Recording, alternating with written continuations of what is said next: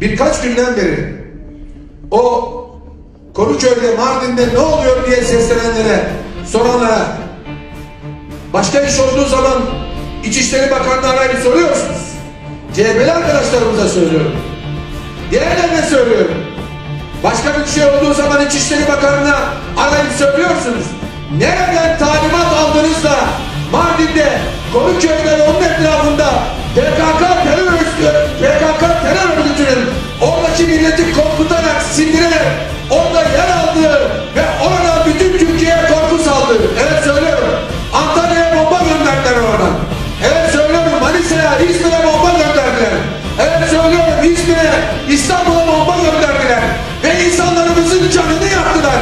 Sen milletvekilisin, terör örgütünün payandası değilsin. Sen milletvekilisin, terör örgütünün uşağı değilsin. Öyle lafınızın endazesini,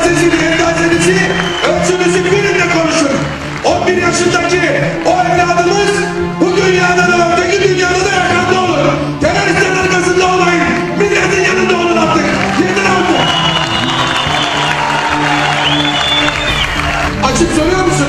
Özel harekat polisimiz o eylemi gerçekleştirenlere karşı bu milletin adına mücadele ederken gözünü kaybeden, kolunu kaybeden, o operasyonda kolunu kaybedenlere ne oldu diye sormuyorsun. Milletin evlatlarına ne oldu diye sormuyorsun. Ama buradan söylüyorum. Alçakça PKK'lı teröristler ne oldu diye soruyorsun.